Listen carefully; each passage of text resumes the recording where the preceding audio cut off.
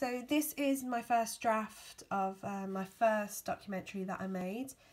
Um, I took the images and uh, the clips on my iPhone because I thought um, the quality was really good. It caught lighting very well and because it was uh, my phone I had it with me all the time so it was very uh, portable and easy to carry.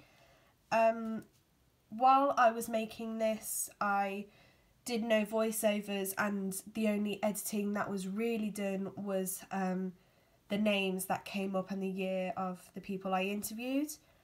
Um, there's no music, it's just the natural sound which is quite quiet, you can't really hear anything and it makes it seem really dull and boring.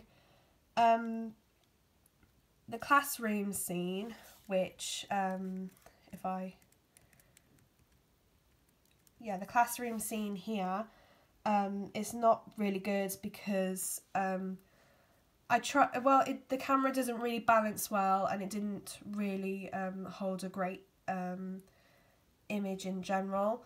But also, um, the students uh, at the front here, um, they took too much notice into um, me filming their class, and um, that made them a bit distracted and not like learn their actual lesson.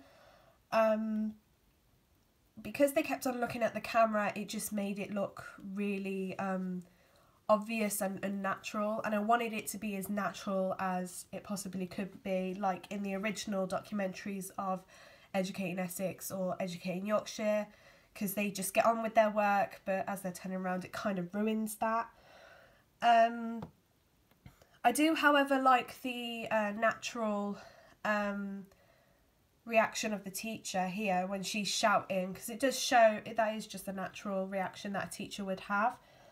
Um, I also didn't really like the interviews, especially this one because um, she's spinning on the chair, and I didn't really, uh, it didn't really um, look like a proper interview, so I had a lot to edit and change.